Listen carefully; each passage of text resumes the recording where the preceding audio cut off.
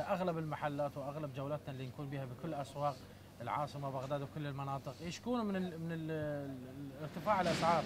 يعني بدأت الناس ما تتسوق وما تلتجئ للسوق إلا بقلة بسبب ارتفاع الدولار. شلون تدبرون حركتكم؟ يعني شلون إيجاراتكم محلاتكم عمالكم شلون تدبروها في ظل ارتفاع هذه الأسعار؟ إحنا يعني ال- اللي سويناه إحنا أغلب المحلات. ما زيدنا أسعار البضائع. من زاد الدولار بقينا أسعار البضائع نفس ما هي بس اللي تذينا إحنا المحلات. غالبية المحلات دا أحكي لك لأن بالبداية جربنا قلنا خلينا نزيد أسعار البضائع من زيدناها صار الإقبال على البضائع كلش قليل. قمنا ما نبيع؟ ف فالخسارة إحنا تحملناها للمحلات. يعني شلون نقول؟ الله ساتر بعد. ما نعرف باكر عقب إيش يصير بينا. زين إذا بقى الدولار مرتفع شنو اللي خطوة اللي راح تتخذوها؟ تبقى نفس الأسعار وتتحمل الخسارة لو شنو راح تسوي؟ إحنا شلون نوصل مرحلة معينة حد معين؟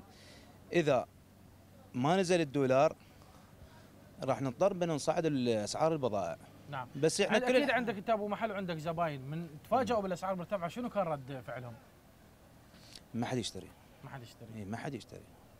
يقول لك أنا البضاعة غالية أنا مشتريها مثلا هالقد منك.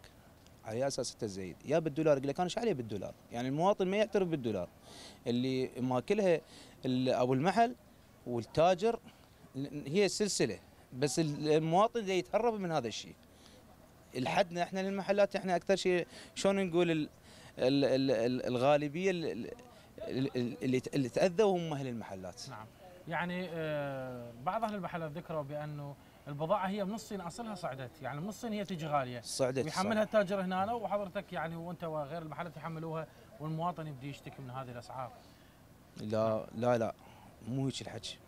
صح هي صعدت من الصين وصعدت التاجر اضطر بانه يصعد. يعني إذا التاجر يصعد ومن الصين صعد م- أنتم ب- تبيعون لا، بخسارة؟ إحنا مو نبيع بخسارة.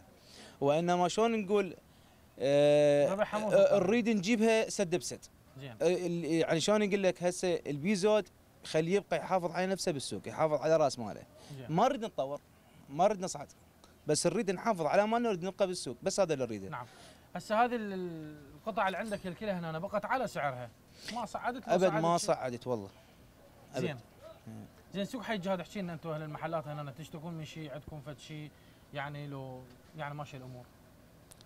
من أي ناحية يعني؟ ماشي الأمور بس رب العالمين يمشيها. الحمد لله والشكر. الحمد لله والشكر. يعني زين. واقع الكهرباء؟ تعبان. كلش تعبان. روح اقرأ اللي هسه المنظم الفولتيه يقرأ. هذا عندي جهاز هنا أنا روح اقرا يقرأ لك 150 زين. اضطرينا نشد أجهزة مال رافع فولتيه زين أنت تسحب مثلا خمسة أمبيرات. هذا رافع الفولتيه هم راد يستهلك طاقة حتى يرفع القدرة. يعني تصفى لك فد امبيرين ونص فلازم يشد فد 10 أمبيرات حتى تجيك فد 6 أمبيرات. وهكذا. هذا كله هذا مصاريف إضافية ومحروقات. بسبب من؟ بسبب إنه الدولة هي ما موفرت لك كهرباء بصورة زينة. نعم ارتفاع درجات الحرارة أثر على الحركة بالسوق؟ يعني بدأت الناس اي أكيد. أكيد أكيد. يعني قامت العالم تجي ورا الغروب زين وتجي الدوريات على الشارع العام قام تسد المحلات وبصافرات الانذار يعني مالتها. بالتسعه يبدي ال- هنا إي. القوات الأمنية تعزل اي وهنا يبدي الشغل قام مثلا من من السبعة. نعم. زين يا دوب تلحق أنت هالساعتين تبيع لك كم شغلة. لأن هسه شوف تعال هسه إحنا دخلنا أحد اشترى؟ ما حد يجي.